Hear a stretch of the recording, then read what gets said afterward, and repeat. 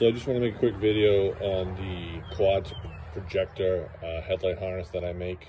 Uh, this one is, it's a basically it's a resistor-free harness. It does require AlfaOBD programming. It's going to add all the missing factory wiring that your quad headlight harness doesn't have. Uh, so in order to do that, I have this larger harness here that's going to run three additional wires to each headlight location uh, that your harness doesn't have. And that's basically the high beam headlamp relay control, uh, the DRL lamp driver, and the front light fault sense wire. So there's three for each headlight. So you have six connectors here. And basically what you're gonna do is those connect to under your fuse box. So what I do is I just disconnect the negative battery under your fuse box, there's also a wire that connects here. I disconnect that to just, you can see it here, just to give me a little bit more, more mobility with the fuse box.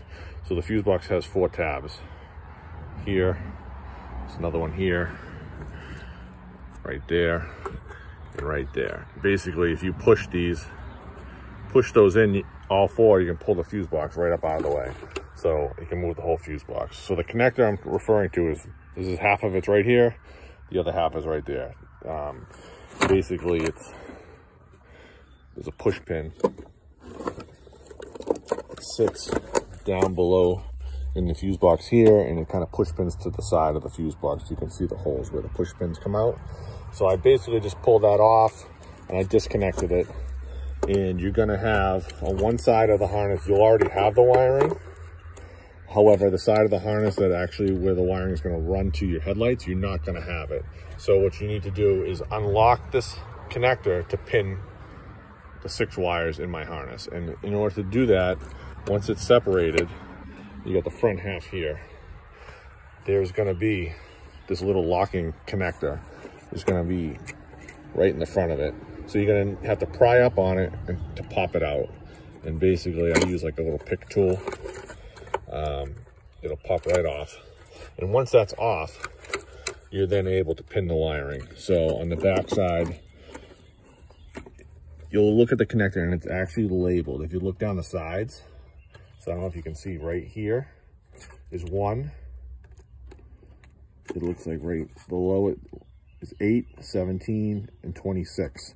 So that can start the, that'll show you how to, how to count them. So you can see one, you got one, two, three, the green is four. Then you get five, six, and seven, and it's labeled seven on the end there. You can see 16 below that. The, the ones that are not populated are gonna have a little plug in them right there. You can see the plug. Again, you have to like use some pliers or something, just pull those out. And my harness is labeled. So each one is gonna be labeled with what, what position it needs to pin into okay? So you're gonna pin each one into the correct position here. Uh, they only go in a certain way and you'll hear it click when they go in. So if you're inserting it and it's, as long as you have this unlocked, if you're inserting it and it's not working, just flip it and insert it. And it should click to let you know that it's in. So you're gonna insert all six, gonna put this all back together, close it up. Um, the harness, there's a short, there's a short short run and a long run. Obviously, the short run is to go to your driver's side. The long run is to go to your passenger side. So you're basically just to run the harness as best you can. Obviously, when you're swapping the headlights, typically you remove the grill. This will all be gone. So you're going to run one connector into the headlight location. You're going to run the other one across into the headlight location here. So with those connectors, these should match up perfectly uh, with the individual headlight harnesses, right? So this one here, you'll see the wire coloring is going to match up too. These two will connect together. So if I can get this with one hand, let's try it this way. So you'll see there, those will connect together and you can tell because you'll see green to green, blue to blue, brown to brown, the wire color. This, this connector is the only one I don't have labeled.